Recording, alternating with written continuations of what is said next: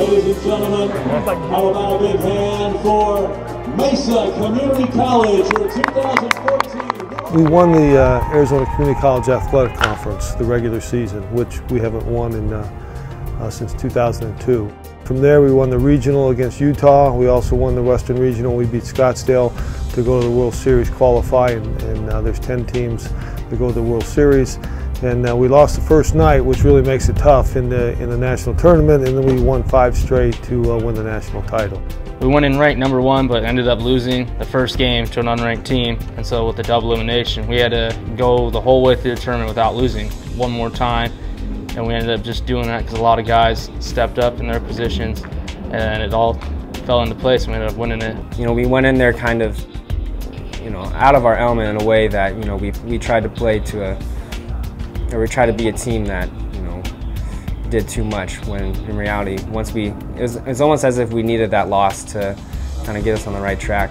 Yeah we fought our way all the way through and ended up winning the last game in the 11th inning and dogpiled from there and had such a great experience. Everyone you know everyone got to be a part of it. The last pitch was actually my slider I threw and he hit a ground ball to our shortstop Moses and he made the play and I turned around, I didn't know what to do, who to high five first, and the next thing you know, I got tackled by my catcher, Zach Soria. That was um, the only thing I can remember doing is I just threw my hands up in the air and I went to go dog pile. I mean, it was just very surreal. It was, in the moment, I didn't know what to feel like, but I just knew I was happy. Uh, I believe we won because we had a lot of freshmen that stepped up and came and did the little things right and got us scoring, and we had a lot of freshman pitchers that picked it up and gave us the opportunity to win.